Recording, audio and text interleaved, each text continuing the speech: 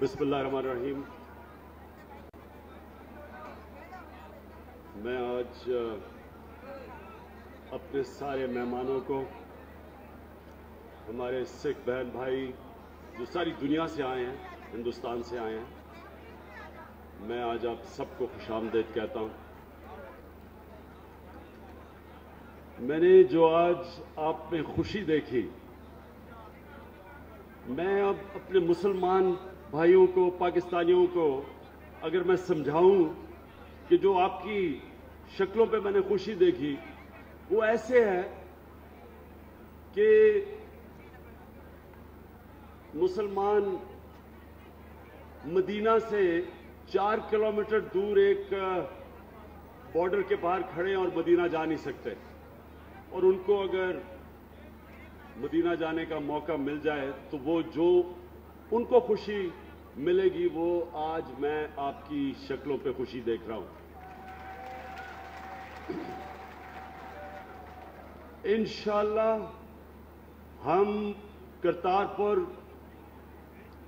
کرتارپور کے دربار کو، اس کو آپ کے لیے بہتر اور بہتر کرتے جائیں گے فیسلٹیز آپ کو دیں گے۔ اور انشاءاللہ جب بابا گرو نانک کی پانچ سو پچاسویں سالگرہ ہوگی تو آپ انشاءاللہ یہ سارے علاقے کو ایسا دیکھیں گے۔ جب اب اگلے سال جب آپ آئیں گے تو آپ کو خوشی ہو کہ دیکھ کے کہ انشاءاللہ ہر قسم کی فیسلٹی ہم آپ کو پرووائڈ کریں گے۔ اچھا اب کیونکہ میرے دوست نبجوت سدھو نے جو آج باتیں کی میں بڑا متاثر ہوا ہوں۔ مجھے نہیں پتا تھا کہ کرکٹ کی کامنٹری تو مجھے یاد ہے، ان کی کرکٹ بھی یاد ہے، لیکن مجھے یہ نہیں پتا تھا کہ یہ صوفی کلام میں اتنا زیادہ ان کی، ان، اتنی ماہرت ہے۔ تو آج میں بڑا امپریس ہوا ہوں۔ میں اب سب کے سامنے، کیونکہ آج ہمارے ہمسائے یہاں آئے ہوئے ہیں میں آپ کے سامنے پہلے اپنا کرکٹ کا تجربہ رکھتا ہوں۔ اکیس سال میں نے اپنی زندگی کرکٹ کھیلی اور پھر بائیس سال میں نے سیاست کی۔ تو میں ان دونوں کا مختصر آپ کو بتاتا ہوں اور نبجوت سندھو اس کو سمجھے گا کہ میں اپنے کرکٹ کے دور میں دو طرح کے کھلاڑیوں کو ملا۔ ایک وہ کھلاڑی تھا جو کہ جب میدان میں قدم رکھتا تھا، تو اس کے ذہن پہ ہارنے کا خوف ہوتا تھا۔ وہ سارا سوچتا تھا کہ میں کسی طرح ہاروں نہ۔ ڈرتا تھا ہارنے سے۔ وہ نہ کوئی چانس لیتا تھا، نہ کوئی رسک لیتا تھا۔ صرف کوشش کرتا تھا کہ میں میچ، کسی طرح میچ ہو اور میں ہاروں نہ۔ ایک دوسرا کھلاڑی ہوتا تھا۔ وہ جب قدم رکھتا تھا کرکٹ کی گراؤنڈ پہ، تو وہ جیتنے کا سوچتا تھا۔ وہ ہارنے کے خوف کے اوپر قابو کر بیٹھا تھا۔ وہ یہ سوچتا تھا کہ میں جیتوں گا تو کیا ہوگا؟ بنسبت اس کھلاڑی کے جو ڈرتا تھا، ہار گیا تو کیا ہوگا؟ وہ چانسز لیتا تھا رسک لیتا تھا۔ بڑے فیصلے کرتا تھا۔ اور ہمیشہ دوسرا، دوسرے مائنڈ سیٹ کا کھلاڑی وہ کامیاب ہوتا تھا چیمپئن وہ بنتا تھا، جو ہارنے سے ڈرتا تھا، جتنا بھی اللہ اس کو ٹیلنٹ دیتا تھا، کبھی وہ بڑا کھلاڑی نہیں بنا۔ جب میں سیاست میں آیا، دو طرح کے سیاستدان میں ملا۔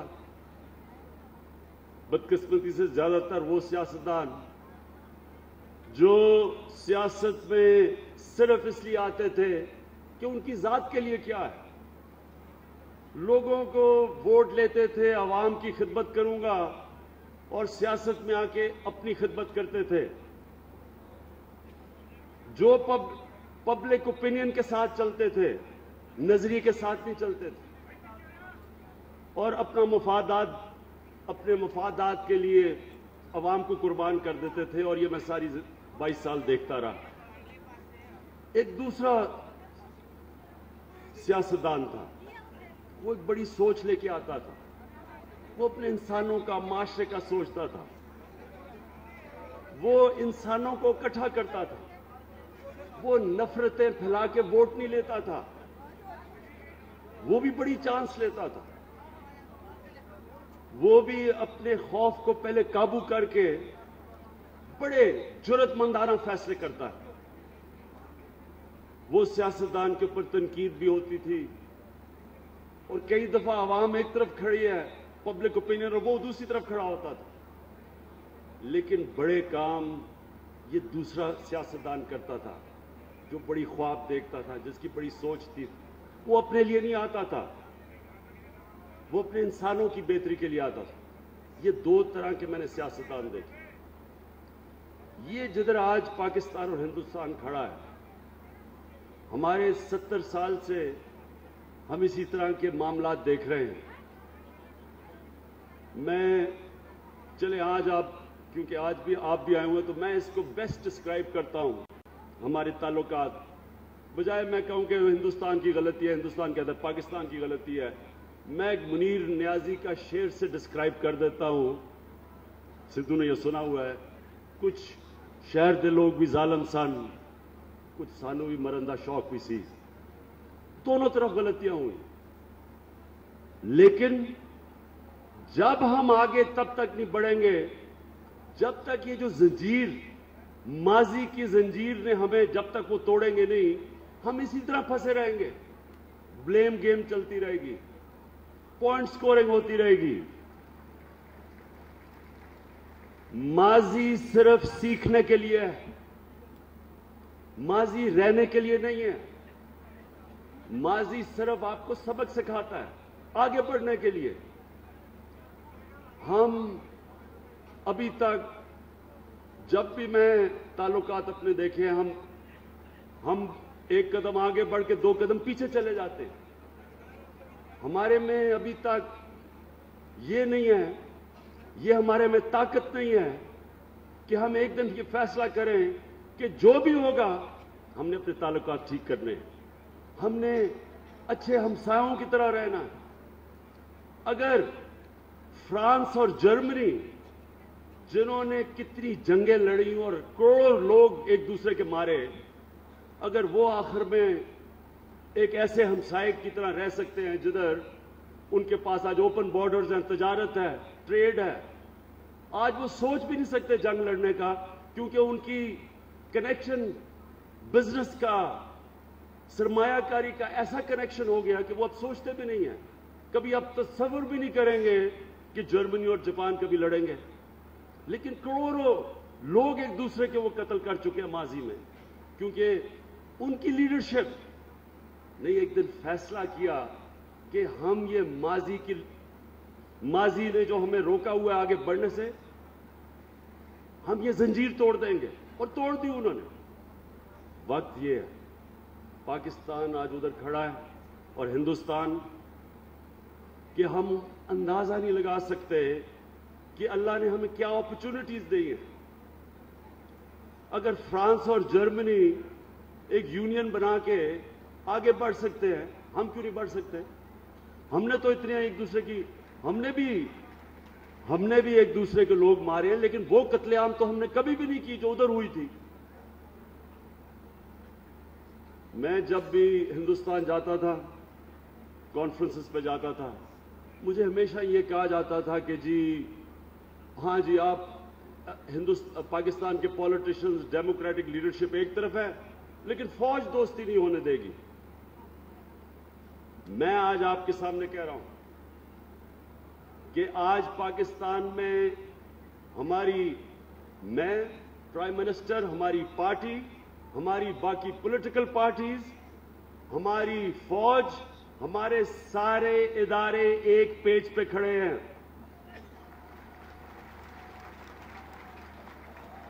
ہم آگے بڑھنا چاہتے ہیں۔ ہم ایک، وہ ایک سولائز ریلیشن شپ چاہتے ہیں۔ ہمارا مسئلہ ایک کشمیر کا۔ مجھے یہ بتائیں کہ انسان چاند پہ پہنچ چکا ہے۔ کون سا مسئلہ ہے جو انسان حل نہیں کر سکتا؟ کیا ہم ایک مسئلہ اپنا حل نہیں کر سکتے؟ صرف دو ارادے والی لیڈرشپ چاہیے بارڈر کے ایک دونوں طرف۔ جو ارادہ کر لیں کہ ہم مسئلہ حل کریں گے، میں آپ کو یقین دلاتا ہوں کہ یہ مسئلہ حل ہو جائے گا۔ کوئی ایسی چیز نہیں جو حل نہیں ہو سکتی۔ لیکن ایک ارادہ چاہیے اور ایک بڑا خواب چاہیے۔ سوچیں کہ ایک دفعہ ہماری تجارت شروع ہو جائے، ہماری ریلیشن شپ ٹھیک ہو جائے۔ آپ اندازہ لگائیں کہ پوٹینشیل کتنا ہے، کیا ہو سکتا ہے؟ دونوں ملکوں کو کتنا فائدہ ہو سکتا ہے؟ لیکن سب سے بڑی بات یہ، اور جو جس کی، جس وجہ سے میں دوستی چاہتا ہوں میں ایک مضبوط ریلیشن شپ چاہتا ہوں ہندوستان سے، اس کی سب سے بڑی ایک وجہ ہے کہ بر صغیر میں دنیا کی سب سے زیادہ غربت ہے۔ اگر ہم نے غربت ختم کرنی ہے اور کم کرنی ہے، سب سے تیزی سے وہ غربت کم ہوگی اگر ہمارے بارڈر کھل جائیں اور تجارت شروع ہو جائے۔ چائنا کی مثال لے لیں۔ چائنا کی مثال لیں کہ دنیا کی تاریخ میں کبھی کسی ملک نے تیس سالوں میں ستر کروڑ لوگوں کو غربت سے نہیں نکالا جو چائنا نے نکالا پچھلے تیس سالوں میں۔ ان کی مثال تو دیکھیں۔ کتنی جنگیں لڑی ہیں انہوں نے۔ ان کے بھی ڈفرنسز ہیں اپنے ہمسایوں سے۔ لیکن ان کی لیڈرشپ اور بڑی دور اندیش دور سوچنے والی لیڈرشپ ہے۔ اس نے سوچا کہ نہیں ہم پہلے اپنے ملک میں غربت ختم کریں گے۔ اور انہوں نے وہ کام کیا جو میں پھر سے کہتا ہوں، دنیا کی تاریخ میں کسی نے نہیں کیا۔ ہمیں آج برے صغیر میں یہ سوچنا چاہیے کہ ہمارے کتنے لوگ ہیں غربت کی لکیر سے نیچے۔ کتنے ہمارے لوگ ہیں بچے پیدا ہوتے ہیں جن کی سٹنٹڈ گروتھ ہے۔ جن کو کیونکہ خوراک نہیں ملتی، نہ ان کے ذہن بڑے ہوتے ہیں، نہ ان کے قد پہ پہنچتے ہیں۔ تو ہماری جو جینوئن پولیٹیکل لیڈرشپ ہے، اس کو تو سب سے پہلے سوچنا چاہیے اپنے غریب طبقے کا۔ اور اگر وہ یہ سوچے گی، وہ اس نتیجے پہ آ جائے گی کہ بہترین طریقہ برے صغیر میں غربت کم کرنے کا ہے کہ ہم امن ہو، ہماری تجارت کھلے، ہم ایک دوسرے سے سیکھیں۔ کئی چیزیں ہندوستان آگے نکل گیا ہے، کئی چیزیں پاکستان ابھی ایکسل کر رہا ہے۔ ہم دونوں ملک آگے بڑھ سکتے ہیں۔ تو میں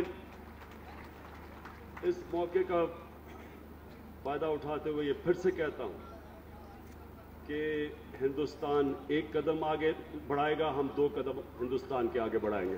دوستی میں۔ میں آج آپ سب کو پھر سے آپ کو ویلکم کرتا ہوں، خوش آمدید کہتا ہوں۔ اور مجھے پھر سے، مجھے سب سے زیادہ آپ کی شکل کے اوپر دیکھ کے خوشی ہوئی۔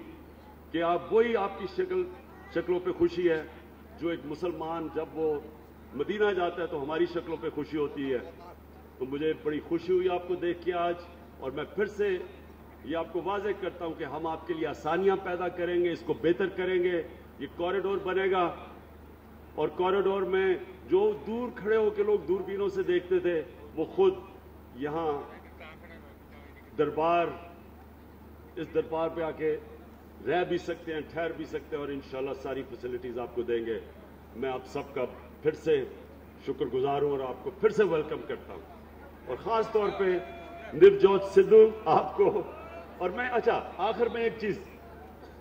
میں جب، میں نے جب دیکھا کہ سدھو واپس گئے پچھلی باری تین مہینے پہلے جب یہ آئے تھے، تو ان کے اوپر بڑی تنقید ہوئی۔ مجھے ابھی تک نہیں سمجھ آئی کہ تنقید کیوں ہوئی؟ ایک انسان، ایک دوستی اور پیار کا پیغام لے کے آیا ہے، وہ کون سا جرم کر رہا ہے؟ اور وہ آج ان مالک کے بیچ میں وہ دوستی کی بات کر رہا ہے، جو دونوں ملک نیوکلیر آرمڈ ہیں۔ ہمارے پاس دونوں کے پاس ایٹمی ہتھیار ہیں۔ تو جنگ تو ہو ہی نہیں سکتی۔ دو ملک جن کے پاس ایٹمی ہتھیار ہوں، وہ تو پاگل پن ہے جنگ کا سوچنا۔ وہ تو بیوقوف انسان ہے جو کبھی سوچے گا بھی کہ ایٹمی جنگ کوئی جیت سکتا ہے۔ وہ تو سب ہار جائیں گے۔ تو جب جنگ نہیں کرنی، تو دوسرا راستہ دوستی کے علاوہ کیا ہے؟ تو کون سا جرم کیا تھا؟ سدھو نے یہاں کے اور ماشاءاللہ آپ بشا کدھر آ کے الیکشن لڑ لیں، آپ یا پاکستان میں الیکشن جیت جائیں گے اور پنجاب میں خاص طور پہ۔ اور میں آخر میں یہ بھی کہنا چاہتا ہوں کہ جو میں نے دو قسم کے پولیٹیشن بتائے تھے نا، ایک ہوتا ہے جو چانس لیتا ہے، جو بڑی خواب دیکھتا ہے۔ دوسرا وہ ڈر ڈر کے اپنا ووٹ بینک دیکھتا ہے۔ دوسرا نفرتیں پھیلا کے ووٹ لیتا ہے اور ایک انسانوں کو جوڑ کے ووٹ لیتا ہے۔ میں یہ امید رکھتا ہوں کہ یہ نہ ہو کہ ہمیں صدو کی انتظار کرنی پڑے کہ جب وہ وزیر اعظم بنے گا تب دوستی ہوگی پاکستان اور ہندوستان کی۔ میں امید رکھتا ہوں کہ وہاں ایسی لیڈرشپ آ جائے کہ پہلی ان میں یہ طاقت ہو۔ دیکھیں لیڈرشپ کو طاقت چاہیے، ایک ارادہ چاہیے۔ اور انسان کی تاریخ، انسان کی تاریخ آپ اٹھا کے دیکھ لیں۔ جب ارادہ کر لیتی ہے لیڈرشپ کوئی چیز ناممکن نہیں ہوتی۔ اور ہم انشاءاللہ مجھے امید ہے کہ آگے ہمارے بڑے اچھے ریلیشن شپ ہوں گے۔